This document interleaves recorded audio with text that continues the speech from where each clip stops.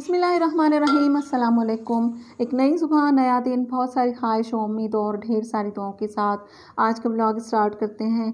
और vlog start है हसब मामूल नाश्ते से। पहले मैंने दूध की जो मलाई है वो निकाल ली है, उसके बाद चाय रखती है और ब्रेड गर्म करूँगी इसके साथ और मैं खाऊँगी चाय ब्रेड और और जो बताएँगे उनके लिए वही होगा। ज़्यादातर अंडा मेरे घर में कोई भी नहीं खाता, इतने शौक से खाते हैं, सर्दियों में फिर भी खा लेते हैं।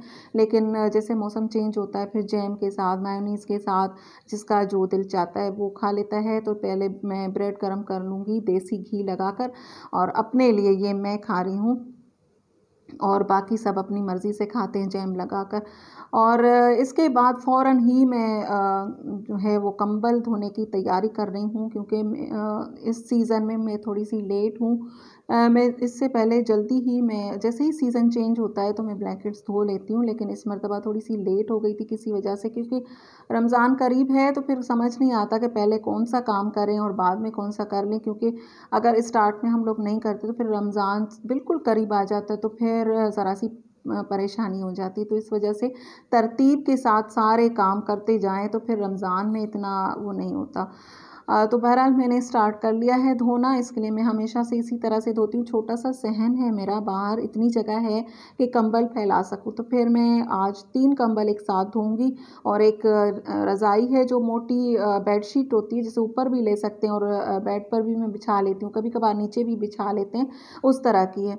तो वो भी आज धोऊँगी, मशीन भी साथ में मैंने लगा ली है, थोड़े से हाथ वाले कपड़े हैं वो भी धो लूँगी, एक ही दफ़ा में सारे धुल जाएँगे, क्योंकि आज मेरा सालन है, मुझे सिर्फ़ रोटी पकानी है तो इसी वजह से मैं ये काम कर रही हूँ। अगर जहन में सोच लेते ना कि ये हमें कल काम करना है और उसके लिए पहले से तैयारी कर लेते तो फिर आसान रहता है।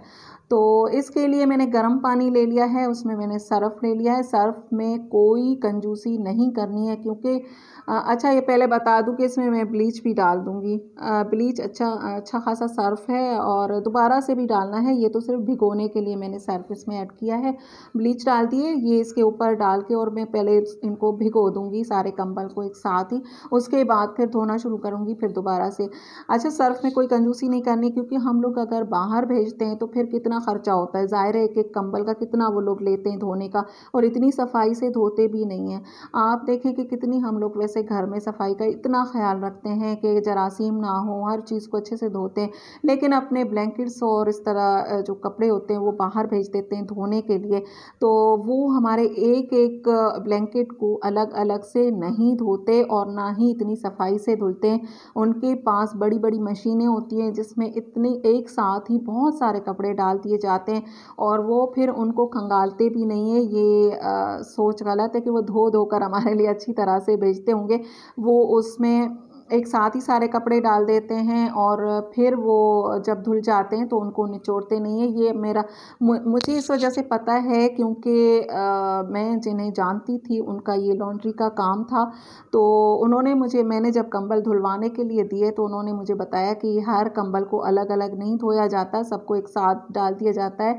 बड़ी मशीन होती है और उसमें, और फिर उनको निचोड़ा नहीं जाता, उसको डायरेक्ट उसमें डाल दिया जाता है ड्रायर में।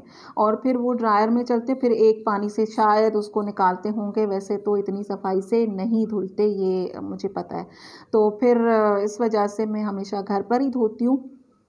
और दूसरा, इतने पैसे देने की ज़रूरत ही क्या है? घर पर इतनी आराम से सफ़ाई से धुल जाते हैं तो फिर बाहर देने की ज़रूरत ही नहीं है। तो मैं इस तरह से गर्म पानी ले लेती हूँ, उसमें सर्फ डाल देती हूँ और फिर ब्लीच डाल दिया। उस पर बाद थोड़े बहुत और काम किए, अंदर से जो क्लीनिंग वगैरह करनी थी वो थोड़े बहुत काम किए।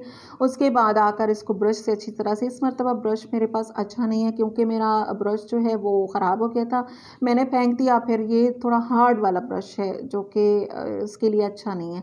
अच्छा ये जो दूसरी जो एक ये बेडशीट है, जिसे मैं नीचे भी बिछाती हूँ तो इसको मैंने जो कपड़े धोए थे, उसी सर्फ में ही मैंने इसको एक मरतबा चला लिया है। फिर इसे निकालूँगी और दोबारा से इसके लिए मैंने सर्फ और ब्लीच वगैरह दोबारा से डाल दिया है, उसको मैंने दोबारा से चला लिया है। जब तक ये वाले कंबल जो हैं, इनको मैं पानी से खंगाल लूँगी इस तरह से पाइप से। काफ़ी जगहों पर कराची में पानी नहीं होता तो अगर पानी की तंगी है, फिर तो कोई मजबूरी है, उसमें भी थोड़े पानी में धुल सकते हैं। इस तरह से सर्फ से निकाल के और उसके बाद ड्रायर अगर बड़ा है तो उसमें ड्रायर में ये सारा इसका पानी निकल जाएगा। उसके बाद फिर एक दो पानी से इसको निकाला जाए तो भी सांप धुल जाते हैं। अच्छा वो जो मैंने उसको मशीन में चलाया, उस बेडशीट को, मोटी वाली को तो वो मुझसे निकालना, इसका ज़रा, इस पर पानी पड़ता है तो ज़ाहिर है वो हैवी हो जाती तो मैं इसको डायरेक्ट ही उसमें ड्रायर में डाल दूँगी। और फिर इसे चला लेंगे तो फिर ये थोड़ा सा इसको निकालना, इसको हैंडल करना थोड़ा सा आसान हो जाएगा तो इसी वजह से मैं इसे पहले ड्रायर में चला रही हूँ। और उसके बाद फिर उन कंबलों के साथ ही इस पर पानी डाल के और इसको अच्छी तरह से धो लूँगी। दोबारा से ड्रायर में डाल दूँगी, फिर ये ड्राई हो जाएगा। अच्छा दो कंबल मैंने वैसे ये बिछा कर धोए। अब ये तीसरा कंबल जो है वो इसमें सर्फ और ब्लीच वगैरह मैंने काफ़ी डाला था उस बेडशीट के लिए तो फिर उसमें ही मैंने कंबल भिगोने के लिए उसी में ही डाल कर छोड़ दिया है। फिर उसको अच्छी तरह से फिर निकाल कर धो लूँगी और फिर वो भी साफ़ हो जाएगा। ये धुल चुके हैं। अब इन्हें एक चेयर पर, किसी स्टूल पर इस तरह से मैं रख देती हूँ, पानी इनका निकल जाता है तो फिर ये उठाने में और तार पर डालने में आसान हो जाते हैं। और वो बेडशीट जो है उसे मैंने ड्रायर में चला लिया था और कंबल जो है वो मैंने इस तरह से रख दिए हैं, इसका पानी बिल्कुल निकल जाएगा तो फिर ये सुखाने में आसानी हो जाएगी। इसके बाद मैं आ गई हूँ किचन में और आज सालन मेरे पास है तो फिर मैं सिर्फ़ रोटी पकाऊँगी और ये जो गाजरें थी मैंने कहा कि फ्रिज में से निकाल रही हूँ, चीज़ें ख़त्म कर रही हूँ। तो फिर गाजरें जो है वो मैंने रख दी हैं हलवा बनाने के लिए और आज इस तरह से बस गोल गोल काट लिया और उसमें देसी घी और वो डाल दिया है, इलायची डाल दी है। और ये बनता रहेगा। इसको ब्लेंडर से ब्लेंड कर लूँगी और हलवा हमारा बनकर हो जाएगा तैयार।